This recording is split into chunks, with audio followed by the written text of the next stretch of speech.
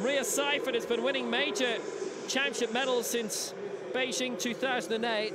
Magdalena Neuner, the cross-country skiing biathlete, has been a major influence in her career, has given her lots of good advice.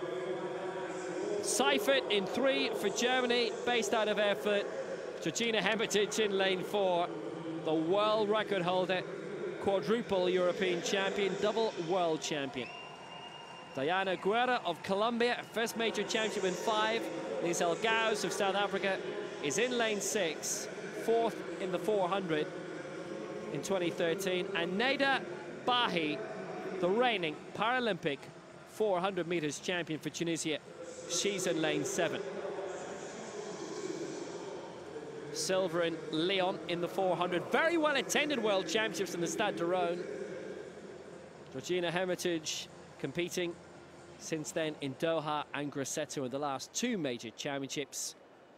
But they don't get any more major than this. Top three to go through to the final, plus the next two fastest across the two heats. Seifert three, Hermitage four, Guerra Beltran five, Gouws six, and Bahi is in lane seven.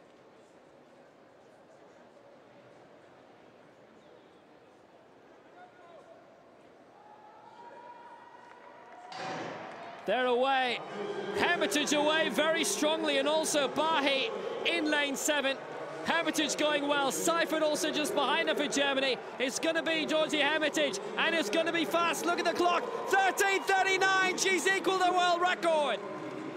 And maybe, just maybe, it gets rounded down for a new one outright. That is sensational in the semi-final. Well, she's watching the board to see how it goes. 13.39, it looks like it's going to stay.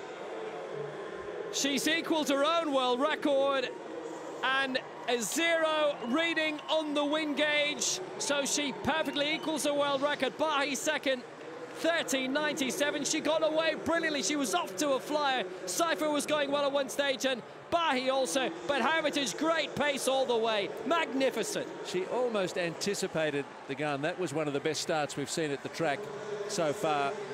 And Hermitage, as much as Francois-Elie made the first heat her own, Hermitage did the same in the second, but even quicker.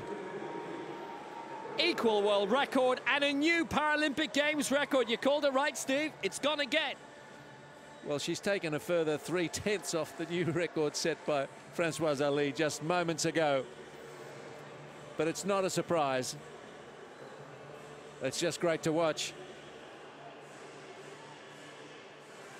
Well, the quality of the track, we've seen a new African record and Tunisian record for Neda Bahi in second place. But Georgie Hermitage, and we're not talking 300 she's taken off the Paralympic record, which lasted five minutes. Three tenths, and she has equaled her own world record from Loughborough in May. This is going to be a fun week. Hermitage wins 13.39.